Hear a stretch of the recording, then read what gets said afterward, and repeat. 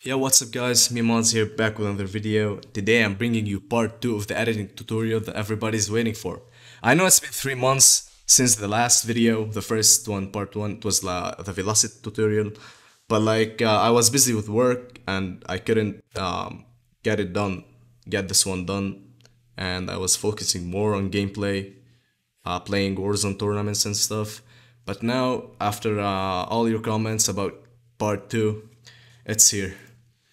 Uh, and in this one, I'll be focusing on um, color correction. So, start with selecting the tab Video Effects. This is all your effects, uh, effects, video effects that you have on Vegas. Uh, I use uh, Vegas Pro 16, so this uh, plugin is like, um, it's built in it, so you don't want to download any plugins. It's called LUT Filter. A lot of people use Magic Bullet looks, but I prefer this one uh, just drag the effect to that track, not to the whole like clip by clip, you know, to the whole track. It brings up this right here, this tab.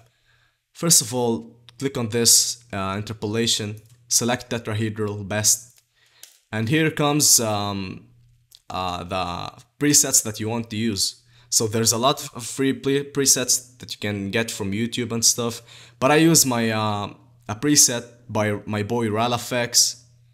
Uh, check him out on Instagram. He's a great, great editor. He uses Vegas too. So he has this pack. Um, I'm gonna use for this edit RAL Dramatic. So you just click open and uh, close this window right here. And your um, your color correction should be like directly applied, you know. Let me just play play this one.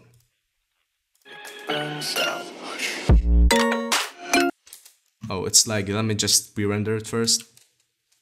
I'll show you how it looks.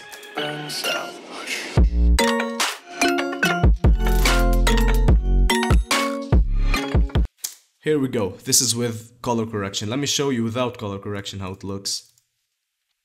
So let me disable um, the LUT filter um, effect.